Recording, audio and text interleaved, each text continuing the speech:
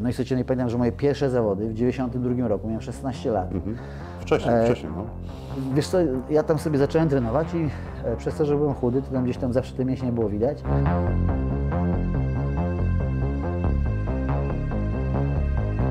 Siemanko, witam bardzo serdecznie w kolejnej nowej serii e, rozmów przy sztandze. Słuchajcie, jest to pierwszy odcinek, e, który będę prowadził razem z Maciej Pietrowicz, ja oczywiście Radek Sutkiewicz, mam nadzieję, że mnie znacie już z innych, e, z innych naszych serii. E, Natomiast dzisiaj e, zaczynamy nową serię, w której będziemy starali się rozmawiać głównie o kulturystyce, o treningu siłowym, ale w takim można powiedzieć bardziej hardkorowym, oldschoolowym czasie, czy tam stylu. Głównie z tej też przyczyny mamy ikony kulturystyki światowej na naszej ścianie. Myślę, że każdy z Was ich zna, a jak nie zna, to koniecznie musicie poznać. My natomiast na pewno do nich jeszcze nie raz wrócimy.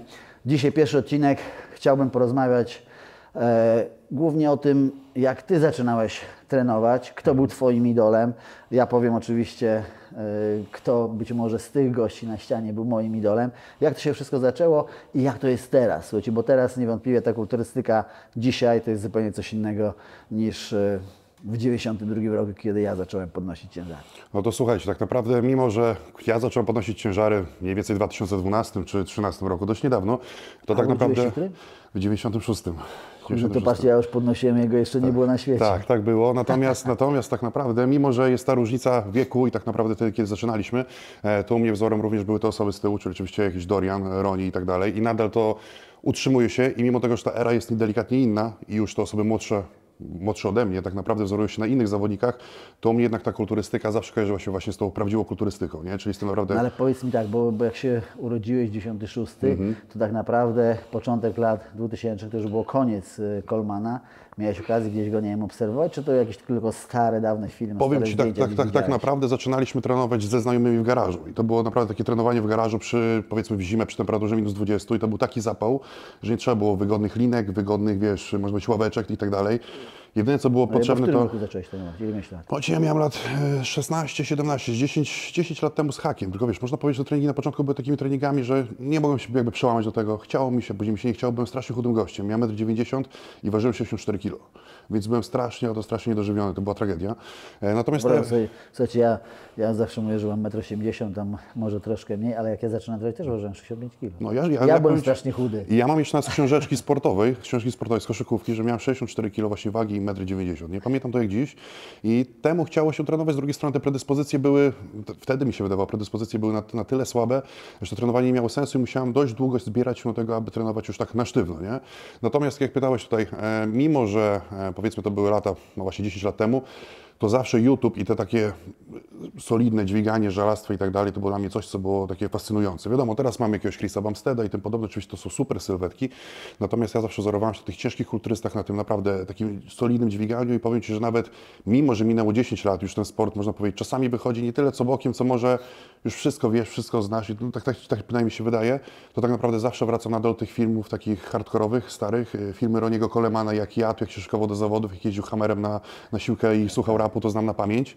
E, Te wszystkie wyciskanie, wyciskania, martwe ciągi i tak dalej znam Te na jego pamięć. filmy z tych przygotowań do Olimpii to są, można powiedzieć, legendarne To, to, filmy. jedynie, to, to jest maska dla każdego, kto jest Tak, zajarany te, te kulturystyką. klipy gdzieś tam, które widzicie na, na YouTubie, no to myślę, że to pff, każdy musi to zobaczyć. Te dziewięćdziesiątki w skosie, jak tam sobie Tak, tak, ale generalnie gość brał, wiesz, blender, blendowo też całe żarcie jakieś i, i, i, tak, i tak dalej, to naprawdę było solidne. E, Te wielkie opakowanie, można powiedzieć wędkarskie na, na tabletki, Tak. tylko łykanie tabletki, ja rzu- rzucę tymi tabletkami. To był taki klimat, bieżnia w małym salonie, to też, wiesz, taka kulturystyka. No i też Dorian Yates oczywiście, akurat Arnold, jeśli mowa o Arnoldzie jakoś mocno, to jakby nie przekonywało mnie, naprawdę wiadomo, to jest ikona, to jest jednak Arnold, ale u mnie akurat już, no, Arnoldem mocno zajarany nie byłem, natomiast Dorianem do tej pory, Doriana lubię czasami sobie włączyć i obejrzeć te hardkorowe treningi, Wiesz, to wiesz, też w się pewnie wiąże z tym, że, e, że jak ty się już urodziłeś, jak już zacząłeś trenować na siłowni, to miałeś właśnie dostęp do, do YouTube'a i Tak, tak, tak, dalej, tak. e, do internetu. Natomiast za moich czasów, oczywiście, kiedy my zaczynaliśmy trenować, moi rówieśnicy, e, nie było internetu i tak naprawdę pierwsze zetknięcie z takimi prawdziwie przypakowanymi gośćmi to było w kinie. Więc ja pamiętam. No, tak, domyślam się. Tak, więc, więc ja pamiętam, że, że był taki film Team Commando, który oglądałem chyba z, z 50 No, ale razy. też też oglądałem wiele razy i też mi się podobało. No, jak zobaczyłem Schwarzeneggera, jak tam na tym, na tym pontonie płynie, jak te wszystkie mięśnie się ruszają i tak dalej, to mówię, wow, co tu się dzieje. Ja oczywiście jeszcze wcześniej byłem zafascynowany sylwetką Himena, nie wiem czy kojarzysz. No tak, to, oczywiście, nie? jasne, że tak. Myślę, że mało kto z, z młodych ludzi zna Himena. Ja to jeszcze, też musicie- jeszcze się załapałem na końcówkę takich, można powiedzieć, że jeszcze kojarzę te, wiesz, te klimaty, nie? No, tylko że ja na początku, jak mi się podobał już Himen, to myślałem, że po prostu niektórzy się rodzą tacy umieśnieni, a niektórzy nie. No ja taki chuderlak, zdechlaczek, no mówię, no, no szkoda, że się taki nie urodziłem, ale jak się dowiedziałem, że to sobie można wytrenować, e, gdzieś tam potem jeszcze tego Arnolda zobaczyłem i tak dalej, no to to była moja taka pierwsza inspiracja do tego, żeby dźwigać ciężary, nie? Conan Barbarzyńca, Conan Niszczyciel, te filmy, to myślę, że to każdy to musi zobaczyć. Ale to miałeś tak, że tak naprawdę, gdy zobaczyłeś już te postacie, te osoby, to generalnie już tobie ten zapał od razu się pojawił, wiedziałeś, że chcesz zająć się kulturystyką, czy to było coś takiego na zasadzie, chcę potrenować, chcę lepiej wyglądać, chcę być umieśniony, czy od razu miałeś taki cel, że chcesz być Ja jak nigdy, największy i... Nigdy nie miałem czegoś takiego, że chciałem sobie potrenować. Okej. Jak ja dowiedziałem się, że można Że można tak wyglądać, to- wytrenować, to... ja mówię, zrobię wszystko, żeby te mięśnie takie mieć. Nie? I słuchajcie, mi nigdy się nie podobały sylwetki takie jakieś, nie wiem, Modelowe. takie, takie drobne, modelowe. Mhm. E, za, za moich czasów, kiedy ja zaczynałem, było też kilku takich kulturystów, którzy teraz myślę, że byliby też takimi, można powiedzieć, bardzo dobrymi Mhm. zawodnikami e, w Classic Physique. Byli bardzo tacy zgrabni, proporcjonalni, nie, nie mieli też wielkiej masy mięśniowej, jak, jak chociażby Lila Brada, No czyli ojciec Huntera. Huntera. Rewelacyjnie wyglądał. Francis Benfato to był też gościu, który moim zdaniem, jeżeli chodzi o, o klasyczną sylwetkę, to jest super gość. Natomiast mi się zawsze podobali tacy mass monsterzy. Okej. E, dlatego mówię na samym początku, e, kiedy gdzieś tam jakieś pismo do mnie trafiło, pamiętam, że w Jacku takie pismo było i z- zobaczyłem sylwetkę Doriana, no to mówię, o kurde, to jest gość, który, już, już mówimy jakby o tych e, osobach, takich kulturystach, Mhm. Tak, którzy tak, gdzieś tam tak. się, to, to był taki gość, który naprawdę zrobił na mnie ogromne wrażenie. No i słuchajcie, no i pamiętam, że moje pierwsze zawody w 92 roku, miałem 16 lat, Wcześniej, E, wcześniej, no. Wiesz co, ja tam sobie zacząłem trenować i e, przez to, że byłem chudy, to tam gdzieś tam zawsze te mięśnie było widać i trafiłem na, na siłownię. Jak trafiłem na siłownię, otworzyli taką malutką siłownię, taką prawie jak te nasze studia teraz, co Dobra. nagrywamy, e, to właściciel tej siłowni, jak mnie zaczął, mówi, może byś wystartował w zawodach. Ja tak jeszcze, wiesz, nie wiedziałem zbytnio, co to jest. Zabrał mnie wtedy do Szczecina, bo ja z Groniewa jestem, e, do takiej też, można powiedzieć, kultowej siłowni, której już niestety nie ma, ale jeszcze rok, dwa lata temu było do Buldiego i tam e, taki właściciel i trener Andrzej Panfil pokazał mi właśnie wszystkie pozy kulturystyczne. No i dwa tygodnie później wystartowałem w zawodach kulturystycznych. No ale do czego zmierzam? E, oczywiście tam byłem ostatni, bo to były zawody dla, dla seniorów, ja byłem taki chudy, a tam byli naprawdę bardzo dobrzy zawodnicy. tacy zawodnicy, zawodnicy, Tak, nie? wygrał wtedy Andrzej Roczka. E, To był gościu, którego już potem nigdy nie widziałem na scenie, natomiast on był wtedy taką, taką można powiedzieć, e, takim mass monsterem w Polsce. Ważył na tych zawodach, słuchajcie, ja tam ważyłem 70 parę kilogramów, czyli już coś przypakowałem, No tak, tak, tak, 65, no ja, on ważył 107 kilo. I słuchajcie, mega jakość, wszędzie żyły to, jak ja go zobaczyłem, to mówię, Ale to było takie jakościowe jak teraz? Takie, czy naprawdę, dobrej jakości. Tak na tamte Bardzo. czasy, powiem Ci, wiesz, w tamtych czasach nie było tej wiedzy kompletnie. Tylko, że on był Więc- też taki wysoki, nie? Okej, był okej, okej, wysoki, więc wiecie, no, no, słuchajcie, tam się smarowałem plakatówką zmieszaną e, z tym, e, z kremem Nivea, Mhm, nie? no. Bo to były takie czasy, że trzeba się posmarować. Jak się posmarować? Czym? Brązerem? co- No, coś, nikt, co nikt da nie znał tego, coś, więc co każdy miał jakieś tam różne, tak, różne patenty. No więc startowałem tego Andrzeja Rączka, wtedy podziwiałem i mówię, kurde, ja nie chcę być taki, bo tam drugi był gościu, bo takie było zawody open tylko, że tam e, chyba było 11 czy 12 zawodników e, z różnych kategorii wagowej. E, wiem, że na drugim miejscu był taki mistrz Polski z 80. E, Nie przypomnę sobie nazwiska. E, W każdym razie, no nie on mi się podobał, mimo że był zbliżony do mnie wagą, tylko właśnie ten Andrzej Roczka. Ten ja mówię, tak. ja kiedyś mówię, będę też taki naładowany, ja chcę być wielki i tak dalej. Więc to była moja taka pierwsza inspiracja, jeżeli chodzi o Polskę, a jeżeli chodzi właśnie o te zagraniczne e, sławy, no to Dorian Yates.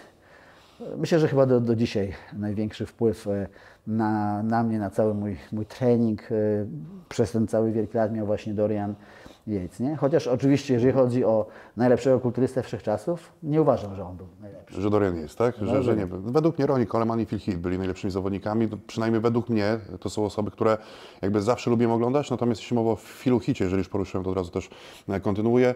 Nigdy nie był to dla mnie gość, który tak naprawdę inspirował mnie mocno jakoś treningowo. To nie było coś, gdzie byłem zajarany tak naprawdę, ale Dorian Yates, tak wracając, to był gość, tak jak mówię, do tej pory oglądam te filmy, do tej pory lubię to naprawdę poglądać, to motywuje mocno. Nie jestem może typem człowieka, który wiesz, usiądzie i się musi zmotywować do treningu, bo to nie o to chodzi, ale jeżeli chce zobaczyć generalnie te porównanie nawet dzisiejszych czasów, bo też chcemy Wam przekazać, co jest, jak jest wykonywany trening dzisiaj, jak był wykonywany trening kiedyś, to nawet lubię sobie tak zobaczyć coś na TikToku i lubię sobie później wrócić do tego YouTube'a i zobaczyć sobie te blut and glutes. y, Bloods i- and guts. Tak, dokładnie. e, Słuchajcie, to jest też pozycja, którą każdy powinien zacząć. Tak, tak, tak. E, Taka bardzo klimatyczna, czarno-biały Tak, e, tak. film. I tylko, tylko okrzyki, jęki, bez żadnego tłumaczenia i łańcuchy, tak. łańcuchy, maszyny na Dokładnie, łańcuchach. dokładnie. Nie? Więc to był klimat Krew i i tak flaki naprawdę. tak, tak. I to, to, jest, to, jest, to jest naprawdę coś, co trzeba, trzeba zobaczyć. Natomiast powiem Ci, że na przykład. y, Natomiast ja, wracając Mhm. jeszcze potem do, do takich, mówię, tych treningów, takich, które miały największy wpływ na, na, na, Mhm. na, nie wiem, na wyobraźnię i chęć trenowania, to mówię, tak, jak, tak, tak właśnie jak e, mówiłeś przed chwilą, ten film Doriana na pewno, Mhm. no i na pewno wszystkie filmy Colmana. Słuchajcie, on, e, kiedyś była taka bardzo popularna seria, Battles to Olympia, czy takie bitwy do, do Olimpii i e, na VH, VHS oczywiście.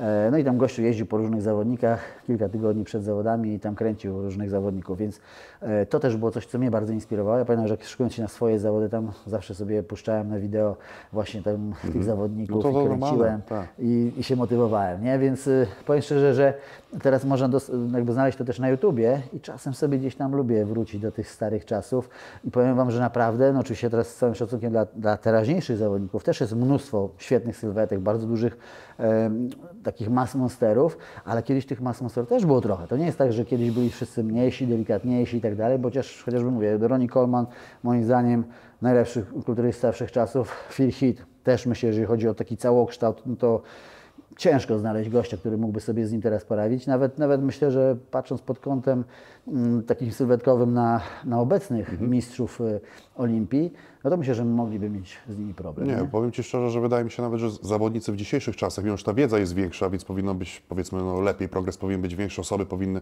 zawodnicy powinni być więksi, to generalnie ta, właśnie ta era tak naprawdę była o wiele większa, tak mi się wydaje. Było sucho, było jakościowo, było twardo, było tak naprawdę, no, te mass monstery były widoczne na scenie, a tak naprawdę nawet zawodnicy, którzy są teraz na topie, czyli Derek Lunsford, Hadi e, i tak dalej, wydaje mi się, że gdyby taki Phil Heath czy Ronnie Coleman weszli na scenę, mimo że są, aktualnie są robione równe, ró- różne porównania na Instagramie na przykład, nie? Masz jakieś filmiki. Tak, ale wiadomo, że to jest, porównać. Tak, ale tego nie da się porównać i wydaje mi się, że te porównania w ogóle nie mają sensu.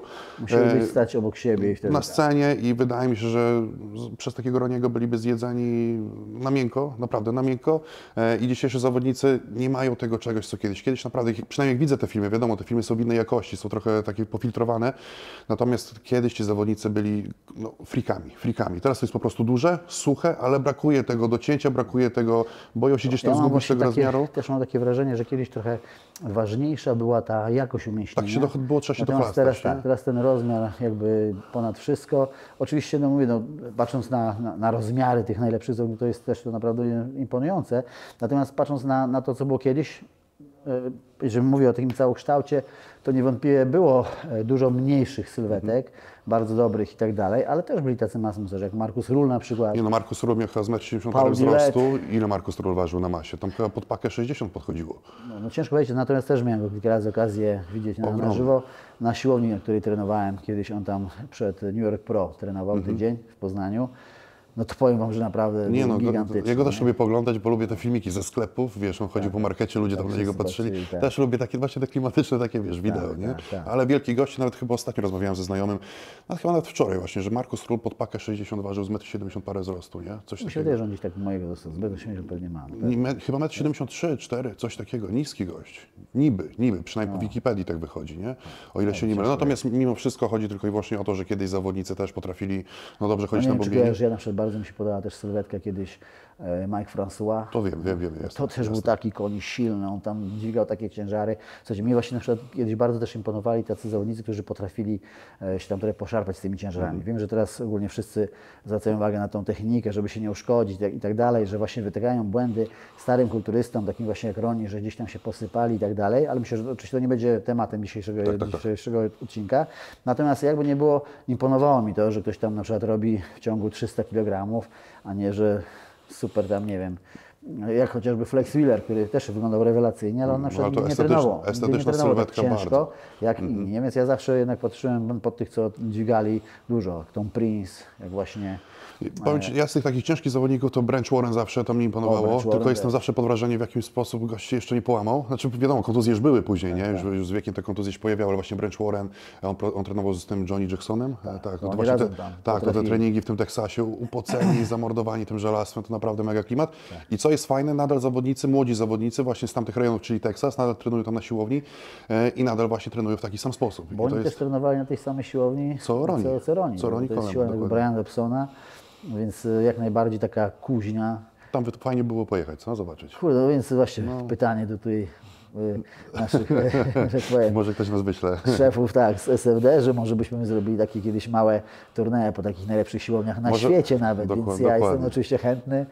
A jeżeli wy byście chcieli też to zobaczyć, to, to piszcie, może będzie nam się Może się uda, chociaż zobaczymy. negocjowało, tak. Tak, tak. No ale są, są miejsca, co można tak naprawdę można naprawdę fajnie zwiedzić, fajnie zobaczyć, no ale nadal ci zawodnicy mimo wszystko widzą, No, ale wracając jakby do tych, do tych dzisiejszych czasów jeszcze na koniec. Słuchajcie, oczywiście my nie chcemy powiedzieć, że ja nie chcę powiedzieć, że dzisiejsi zawodnicy słabo trenują, bo zobaczcie, że tak naprawdę porównując jakby prawdziwych zawodników do tej całej reszty ludzi, Mhm. którzy, którzy, że tak powiem, dużo szumią i tak dalej, to ci mocni zawodnicy dalej trenują bardzo podobnie. Tak, nie ma nic się zmieniło. no, cho- chociażby e, Hadi Chopin czy coś, on dźwiga ogro- ogromne ciężary. Wspomniałeś wcześniej Bumsteda. Bumstead też przecież podnosi Powiem Ci, że wiesz co, co jest bardzo istotne? więc- To jest bardzo istotne, że trzeba pamiętać o tym, w jaki sposób zbudowaliśmy fundament, nie?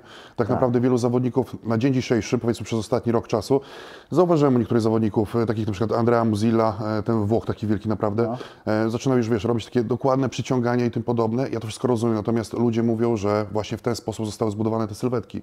Te sylwetki zostały zbudowane właśnie na podstawach, na ciężkim dźwiganiu i tak naprawdę okej, czy to Hadi, czy to Chris Bumstead, czy ktokolwiek inny, kto jest naprawdę już wielki, ta masa mięśniowa została No, wiesz, że, zbudowana. że wszyscy zaczynają jakby podobnie, bo to jeszcze jest jakby nie było, to są jeszcze wszystko ludzie, ci zawodnicy teraz, tak, chociaż jakby nawet ty, no, też to już 10 lat. Mhm. Tak. Więc można powiedzieć, że zaczynałeś wtedy, kiedy się jeszcze, że tak powiem, nie myślało za bardzo o tym, czy czy, Znaczy, bądź, ten- nadal, nie, nadal nie myślę, nadal nie myślę, czy, ten, ale- czy, ale- czy ten wiesz, ma być taki, czy jakby, taki. Jakby wy- wychowałeś się na tym, że, że Tak. trzeba po prostu ciężko trenować, a nie czy to będzie 3 stopnie w tą, czy 3 stopnie w Tak, tamtą. tylko- Natomiast problemem są ci e, ludzie młodzi, którzy dopiero moim zdaniem zaczynają i oni od razu zamiast przejść przez tą bazę, przez którą wszyscy zawodnicy przechodzili, zaczynają jakby kombinować i, Mhm.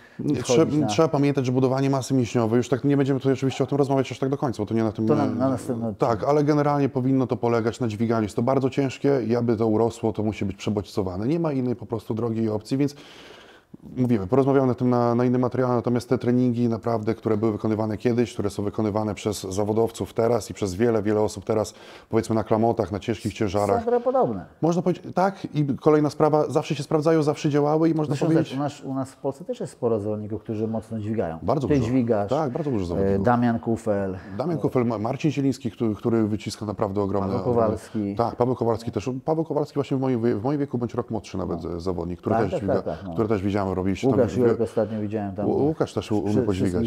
zaskoczy. Tak. Łukasz, Łukasz rośnie. Łukasz dobrze, Łukasz dobrze rośnie. No ale Paweł Kowalski widziałem wiosłowanie to chyba po dwie paki, nie? Sztangą. 220. No to 200, no to, no to tak naprawdę...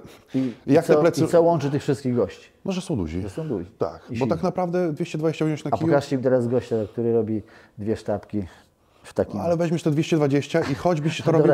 Ale Nie, ale choćbyś, jeszcze tak. ale trzeba poruszyć. Choćbyś robił to krzywo, choćbyś robił to źle, to weź to utrzymaj i weź tym szarpnij nawet. A gość to jasne, robi. na- jasne, pod kontrolą, bo to jest Dokładnie, wszystko, to, to pod tak, kontrolą. to jest... Ale w ogóle podnieść to z ziemi tak naprawdę. Podnieść, ja, pokryć ja się, też mówię, no utrzymaj. mówię, Kowalski 220 ten, wiosłowanie, no to weź y, martwy ciąg, to nawet nie jest wstyd tym robić. Tak, no to- co dopiero robić wiosło, nie? Ja powiem tak, y, wszystko sprowadza się do jednego, ale o tym porozmawiamy myślę jeszcze w kolejnym materiale. E, tak naprawdę co, dzisiaj skupiliśmy się na tej kulturystyce, na tych takich typowych, typowych postawach, czemu to lubimy, czemu to kochamy. I co, czy coś jeszcze, czy coś jeszcze tutaj chcemy No powiedzieć i takie dzisiaj? małe nawiązanie do, do tego, co było kiedyś. Aby zacząć tą serię, tak myślę, treściwie i konkretnie, żeby ludzie wiedzieli, I na czym oczywiście się... chcielibyśmy, opieramy. y, żebyście Wy nam pomagali, o czym byście chcieli usłyszeć. Że jeżeli macie może jakieś pytania albo coś, ale pamiętajcie, że my tu chcemy rozmawiać głównie o kulturystyce. Nie o tym. Tak, nie będzie fitnessu, nie będzie pilatesu, e, Tak, będzie po prostu nie, no, bodybuilding i o tak rolkach i innych rzeczach. Będzie dźwiganie, nie będzie kątów, będzie ciężko i nie będzie braku regeneracji, czy, czy jakichś takich tego typu aspektów. Słuchajcie, bardzo Wam dziękujemy za, za dzisiejszy materiał. E, tak naprawdę, tak jak Radek również powiedział, zachęcamy Was do zadawania pytań, zadawania e, tutaj jakichś fajnych, fajnych komentarzy, jeśli mowa o kolejnych materiałach. No i co Radziu, bardzo Ci dziękuję za dzisiejszy, za dzisiejszy Również materiał. dziękuję. Mamy nadzieję, że się Pozdrawiam podobało. Serdecznie. Tak. Subskrybujcie, lajkujcie, no i oczywiście czekamy na Wasze opinie oraz propozycje, jeśli mowa o kolejnych materiałach. Dzięki bardzo, siemanko, hej. Pozdro.